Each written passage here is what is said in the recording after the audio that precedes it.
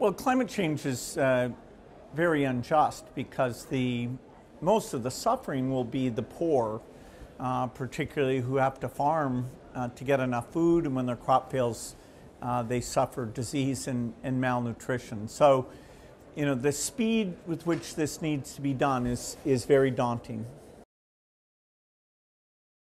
Well, we've set ambitious goals, uh, you know, trying to get to zero by 2050.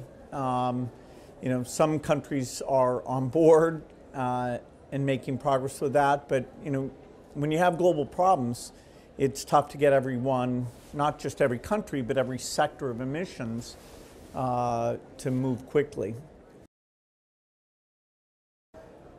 I mean, when we're doing meetings about uh, clean steel, clean cement, you know, the location we're in, or you know, the the wealth that created uh, uh, the, the economic success here, that's not influencing this. I mean, we're here to get carbon emissions to zero as fast as we can. To cancel out my footprint, I wouldn't claim in any way, uh, you know, that means I can leave the problem alone because I should use my skills and money to drive innovation, you know, so that this problem doesn't just get solved for my emissions, it gets solved for everyone's emissions.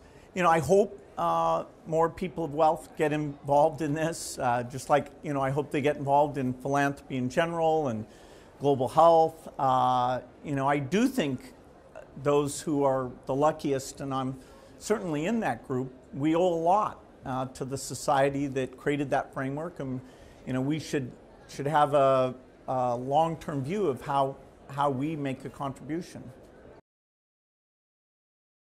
You know, we did create Gavi to buy vaccines. We did create Global Fund to buy bed nets to reduce malaria deaths. And so we should be doing more. The idea of helping the poor countries, reducing inequity, you know, I'm always impatient that, that we're not doing enough there. But people shouldn't lose sight of the fact that in the climate area and in the health area, uh, the human condition can continue to improve.